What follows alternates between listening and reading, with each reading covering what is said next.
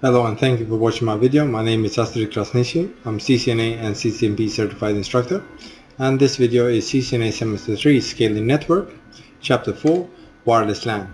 We are moving to section 4.3 so this is part 3 Wireless LAN Security.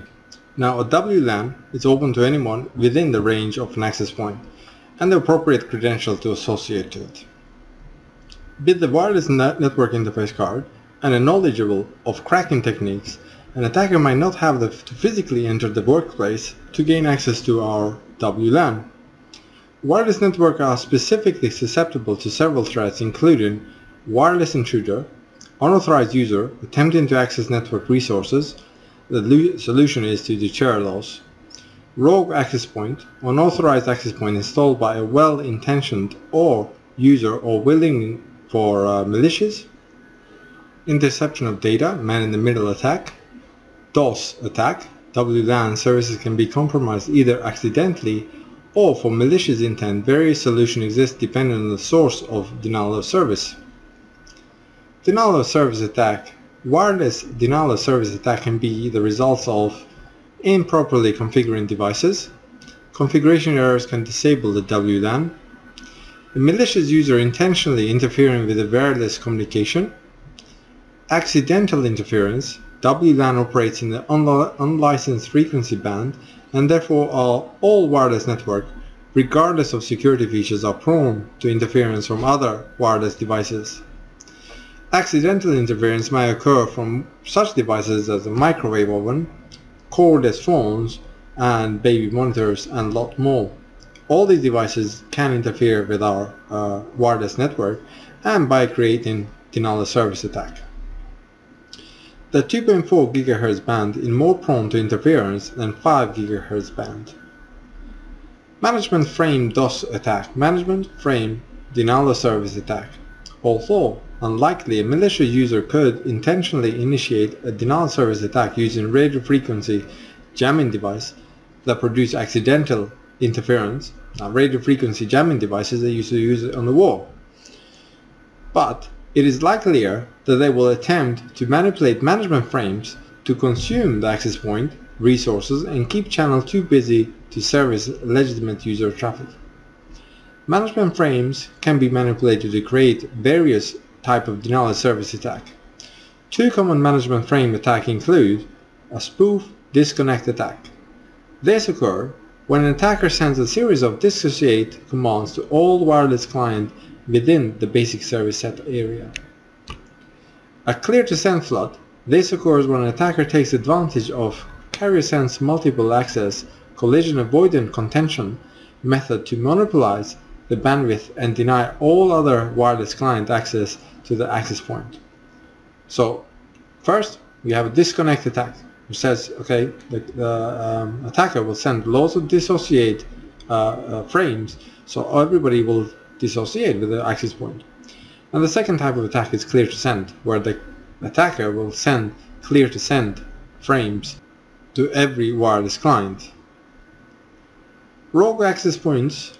A rogue access point is an access point of wireless router that has either been connected to a corporate network without explicit authorization and against corporate policy, connected or enabled by an attacker to capture client data such as the MAC address of the client, both wireless and wired, or to capture data packets. Another consideration is how easy it is to create a personal network hotspot. For example, a user with a secure network access enables the authorized Windows host to become a Wi-Fi access point.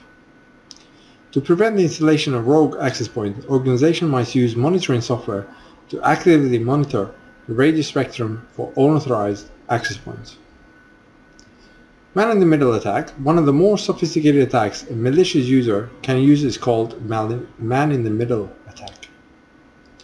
A popular wireless MITM attack is called evil twin, evil twin access point attack, where an attacker introduces a rogue access point and configures it with the same secure set identifier as a legitimate access point. Location offering free Wi-Fi such as airport, cafes and restaurants are hotbed for this type of attack due to the open authentication. Connecting wireless client will see two access points offering wireless access with the same name. Those near the rogue access point find the stronger signal and most likely associated with the evil twin access point. User traffic is now sent to the rogue access point, which in turn captures the data and forwards it to the legitimate access point. So it will capture the data from the users and it will forward it to the legitimate access point so the users don't even know that there's there's attack happening. So security has always been a concern with the Wi-Fi because the network boundary has moved. Wireless signal can travel through solid matter such as ceiling, floor, walls, outside of the home or office space. Without stringent security measures in place, installing a WLAN can be equivalent of putting Ethernet ports everywhere, even outside. Imagine you put an Ethernet port everywhere in the street and anyone can just plug in and get access to you. Well, that's what you're doing with a wireless network.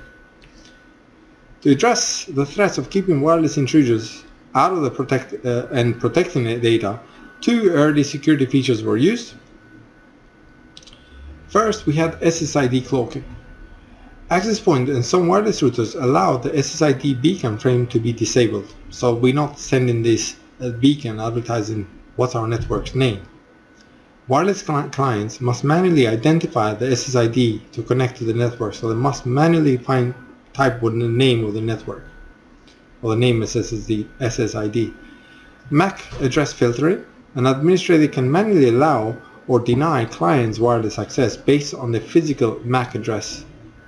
So you can deny or allow, you say, okay, this MAC address, this wireless MAC address is allowed, and this wireless MAC address is allowed and that's it.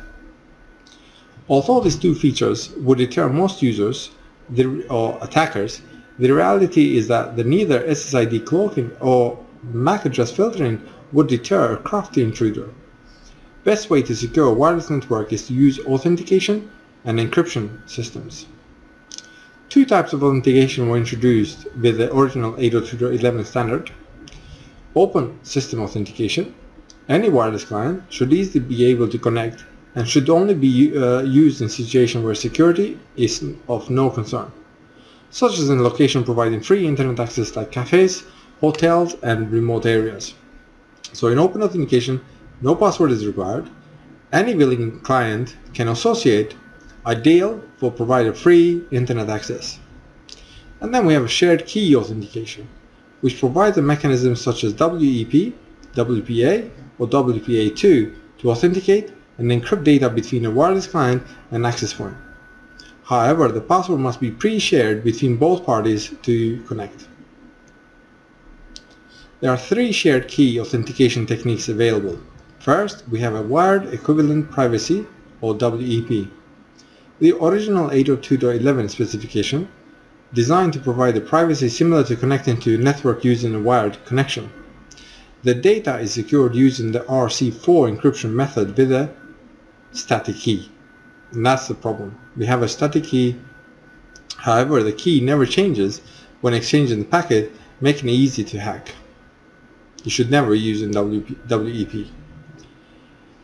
Then we have a Wi-Fi protected area or WPA, a Wi-Fi Alliance standard that uses WEP but secures the data with a much stronger temporary key integrity protocol.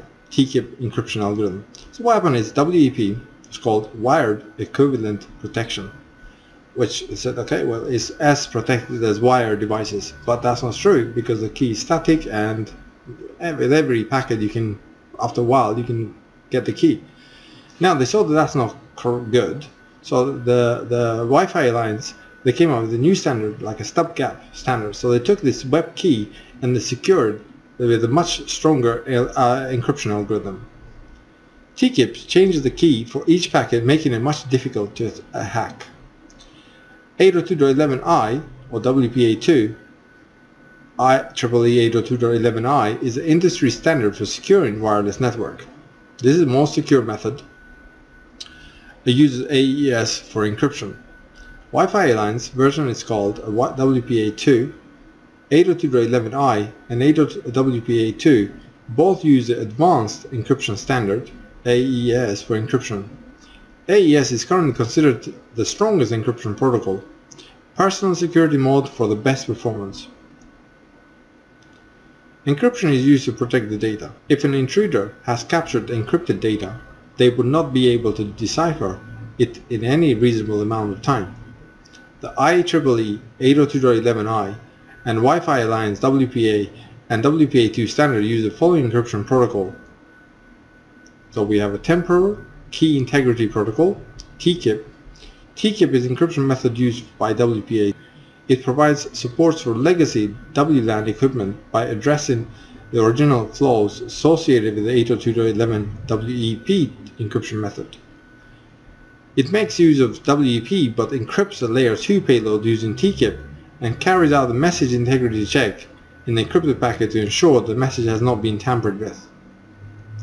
And the latest one, we have Advanced Encryption Standard. AES is the encryption method used by WPA2. It is a preferred method because it aligns with the industry standard 802.11i. AES performs the same function as TKIP, but it has a far stronger method of encryption. It uses a counter cipher mode with a blockchaining uh, message authentication code protocol that allows destination hosts to recognize if the encryption and non-encrypted bits have been tampered with. Always use or choose WPA2 with AES when possible. So authenticating a home user, WPA and WPA2 support two types of authentication. Personal, intended for home or small office network user authenticate using a pre-shared key, PSK. Wireless client authenticate with the access point using a pre-shared password. No special authentication server is required. Or we have an enterprise. In enterprise is intended for enterprise network but requires remote authentication dial-in user services or radius authentication server. Although more complicated to set up, it provides additional security. The devices must be authenticated by the radius server and the user must be authenticated using 802.1x standard which uses the Extensible Authentication Protocol, EAP, for authentication. To authenticate in the enterprise, in the network that have a stricter security requirement, an additional authentication or login is required to grant wireless client such access. The enterprise security mode choice, choices require authentication, authorization, and accounting a AAA radius server. Fields are necessary to supply the access point, which the required information to contact the AAA server. Radius server IP address. This is the reachable address of radius server. Radius port numbers officially, officially assigned by UDP port 1812 for radius authentication and 1813 for radius accounting. But this can also operate on UDP port 1645 and 1646. Thank you very much for watching. Uh, hope to see you in a future video on part 4, 4.4 wireless LAN configuration. Thank you very much and bye bye.